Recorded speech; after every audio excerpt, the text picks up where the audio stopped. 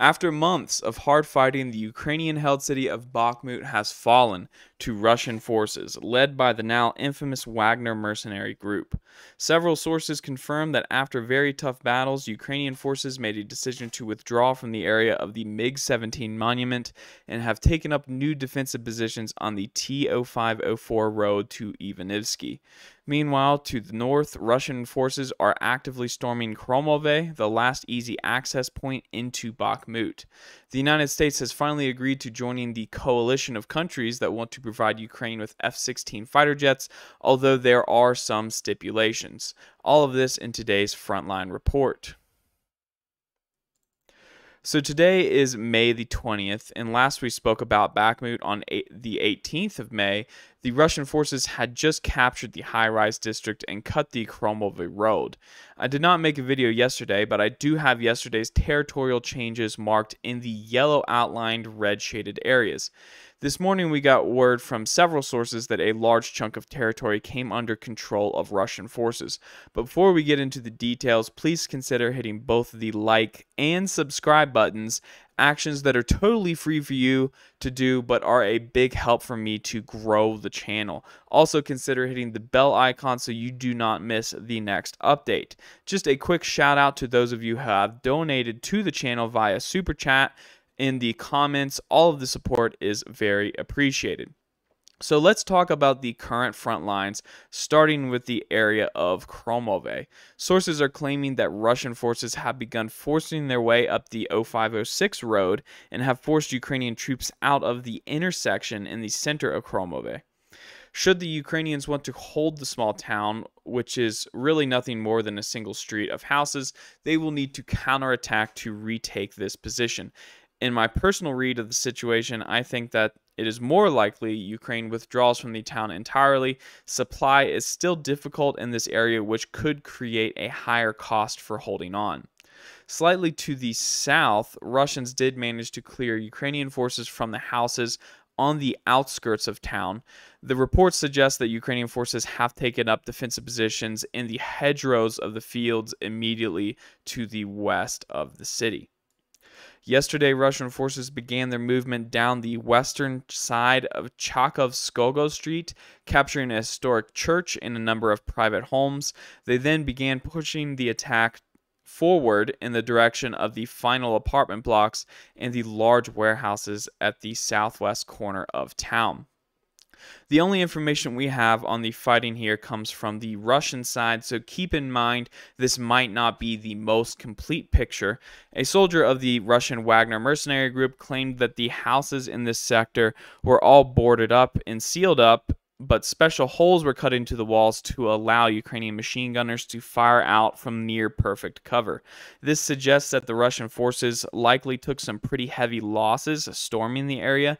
The soldier claims that in order to defeat these positions, rockets had to be fired at the houses to blow holes in the walls and clear them out. The statement was also made that for every Ukrainian soldier killed in this fight, two more would show up to reinforce. This bit of information to me suggests that at least for a a time during the battle, the Ukrainian command had the intention to hold on to this section of Bakhmut at least at least for a little while, spending precious human resources to do so. Another claim from the Russian mercenaries was that in this final battle, the primary force they fought against was highly motivated foreign mercenaries, or what people in the West would call foreign volunteers from various NATO countries. I personally think this is where we start to dance off into propaganda land. I am not claiming that Western NATO trained citizens did not participate in the battle. I just highly doubt they did in the numbers being claimed by the Russians. A report was released by the Wagner Group on the losses of the Ukrainian side during the Battle of Bakhmut. And in this report, they claim that nearly, nearly 6,500 foreign volunteer fighters were killed. Now, as an American, I see in the news every couple of weeks a report of an American death among the volunteers in Ukraine. It is actually considered somewhat big news when these events happen. In countries like Russia and Ukraine, where there are strict controls on information, casualty numbers are a huge question. Nobody really knows, nobody wants to tell, and what they both do tell are almost certainly a lie. This information environment does not exist in the West, or at least not to that extent. The prospect that some European country or the US could hide 6,500 casualties from their population would be practically impossible, and we all know it.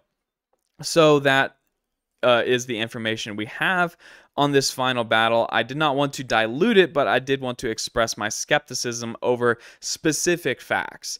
In terms of overall casualty numbers, they are probably very high for both sides. Likely both are closer to par, but I do think there is I, I do not think there is any value to the official numbers given by either the Ukrainians or the Russians. Both are probably pure propaganda numbers. So, zooming out and looking at the map of the Bakhmut environment, as of this moment, the Ukrainians still hold positions in the towns on the western outskirts of in Khromove and Ivanivsky.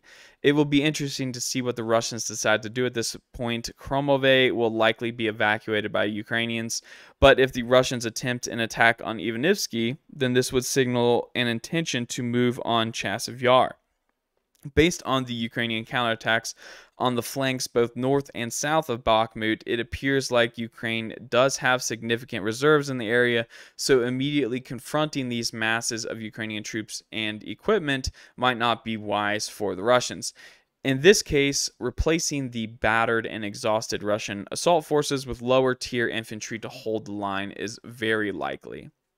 With that being said, I do believe that the Russians will begin to focus on capturing Avdiivka next.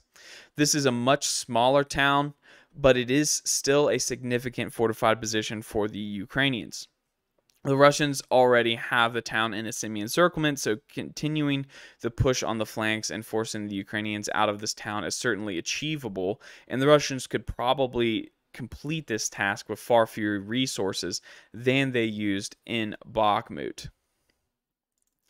In other news, Ukrainian supporters are celebrating a diplomatic victory. The U.S. has now formally agreed to send F 16 fighter jets to Ukraine, although the exact number or time frame of these jet deliveries remains unclear. U.S. National Security Advisor Jake Sullivan made the statement that the U.S. would agree to send the fighter jets on the condition that they would not be used to strike inside the territory of Russia. Obviously, once the jets are in the hands of the Ukrainians, the U.S. will not be able to prevent the Ukrainians from making these strikes, but nevertheless, the U.S. government is looking to limit any kind of international backlash and distance itself from any involvement in if such strikes occur. The Russians are likely to throw a pretty big fuss over this move and blame the U.S. for further escalating the conflict. In Sullivan's statements, he mentioned that in the following months, discussions would take place on matters such as the number of jets and the time of delivery. In a previous video, I stated that I did not believe Ukraine would acquire these jets before the end of the war, and based on what is currently being said, I still think that is still very likely. Finally, we will take a look at the entire battlefront to see where the major clashes have been over the last two days. We do see an increase in Russian assault actions in the area of Avdiivka, along with a curious Ukrainian attempt to cross the Russian border north of Kharkiv. The Russians claim that this was a foiled infiltration attempt, but we do we don't have much more information than that. That is all from me on this one. Thank you guys for joining, and until next time.